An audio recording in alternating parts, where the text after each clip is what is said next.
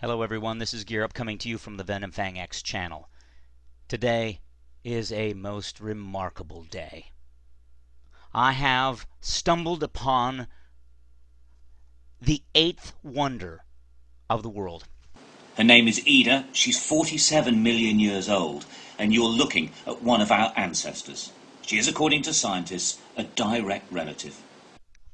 This is the presupposition here that evolution is correct, regardless of all the facts.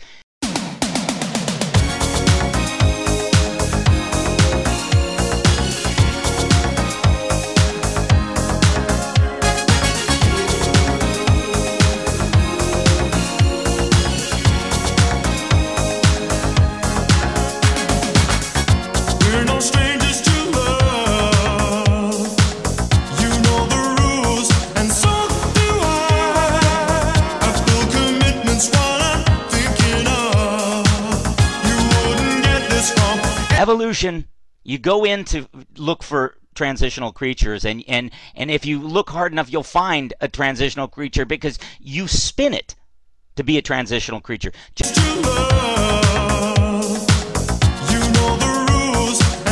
just because it has thumbs like ours doesn't mean it's it's it's related to us.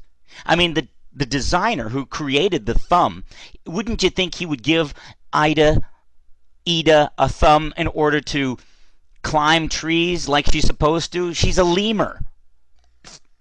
Okay uh, now get a load of this. I want you to be aware of neural linguistic programming here. So when you look at this picture and this picture does not look like a human foot in any way okay? This is so different from a human foot.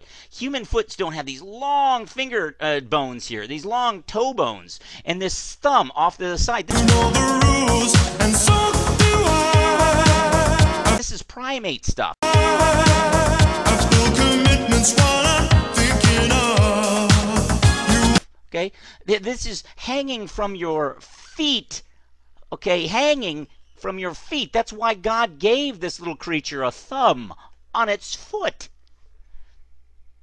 Now pay attention to what he says here. With human characteristics. human characteristics. So in other words you look at something that is totally opposite of human but then they tell you it has human characteristics and you're supposed to buy it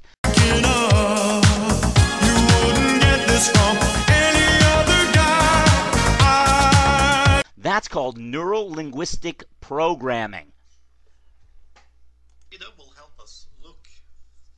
and then bring in the experts. Okay, right after the big lie, you bring in the expert. He, and, and remember, a doctor. Okay, with a foreign accent.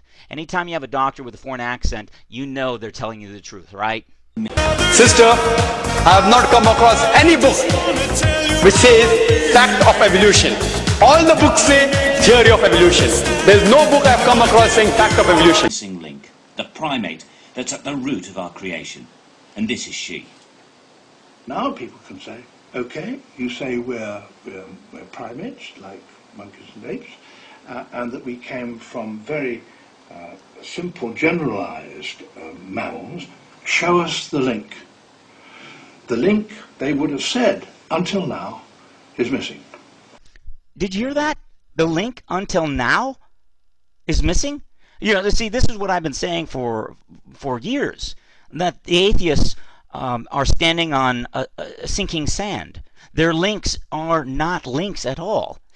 What Sir David Attenborough means by that is that little bastards like you have been claiming that our links are not links, and now we have another, complete almost, link that you cannot doubt seriously unless you lack any knowledge of time at all. Of course, you're going though. and neither is this one. But he seems to think that it is a link. It's a link because it's got a thumb and thumbnails. Just because it's got thumbnails doesn't mean it's a link. You know, just because it's got eyes doesn't mean it's it's our relative.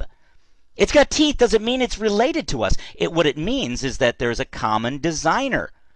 There is one designer for all of us. He designed all living things, including time and space. So it's just that simple. This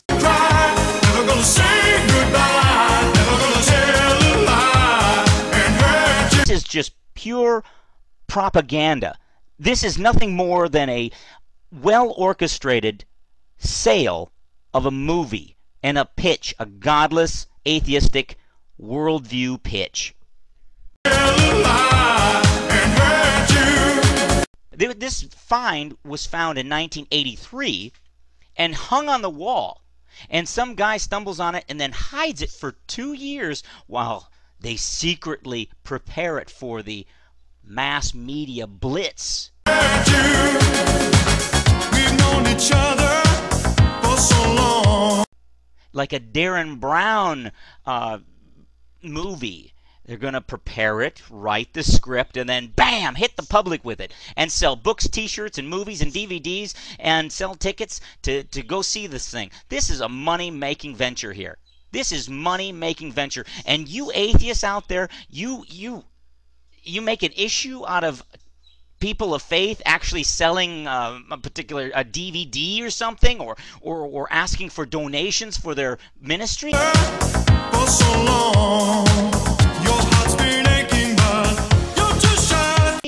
Look at this ministry. This ministry of natural selection, this ministry of propaganda, and they're making you buy it.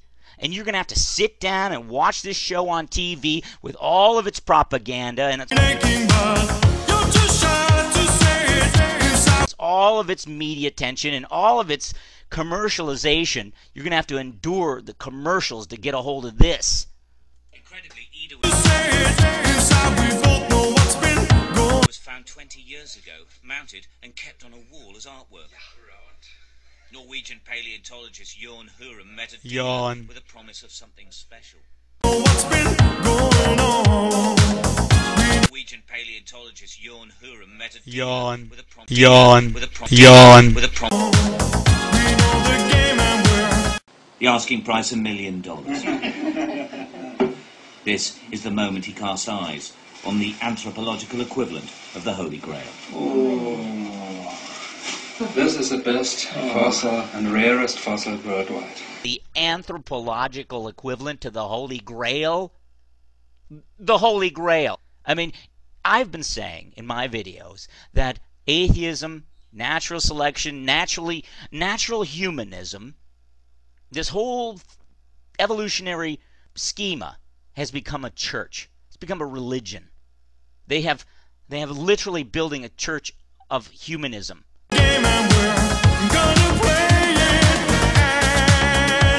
out of this. And this is their holy relic. They, these are holy relics. Okay, it's under glass, and you can co- go and worship this thing. You go and gaze upon it and look at your ancestry.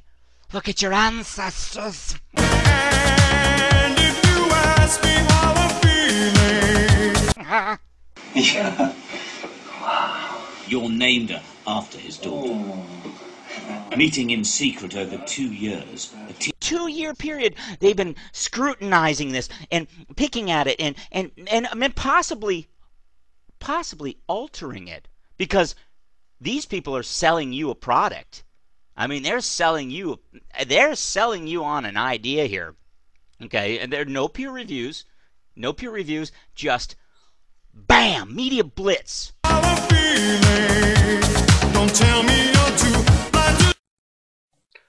Well, I think I'm going to leave it there for the day. I will finish off this with part 2 coming soon, within uh, a few days. Should be up by Monday. Unfortunately, I need to go and finish off some university assignments. And tomorrow's my birthday, so I'll probably be busy all day.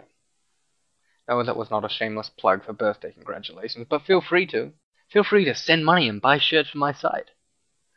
And before you ask, yes, I am wearing velvet we will get back to this absurdly obscene display of stupidity by Venom Fang X2 uh, in a couple of days. See you then.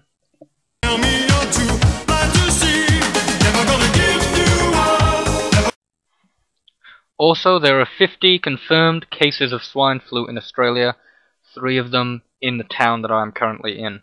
So I guess it's mask time.